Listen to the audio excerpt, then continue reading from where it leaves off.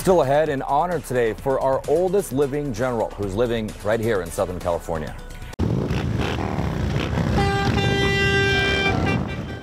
All right, now to an American patriot who was honored today in Riverside. A big happy birthday to U.S. Air Force Lieutenant General Harry Goldsworthy. At 107 years young, he's showing he still has the right stuff. He showed off his incredible memory and his great sense of humor. I flew over 32 different airplanes, and Uncle Sam paid for the gas.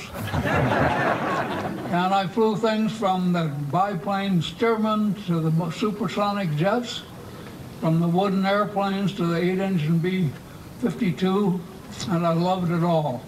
Hmm. Well, Goldsworthy was also treated to this flyover right here during his big birthday celebration.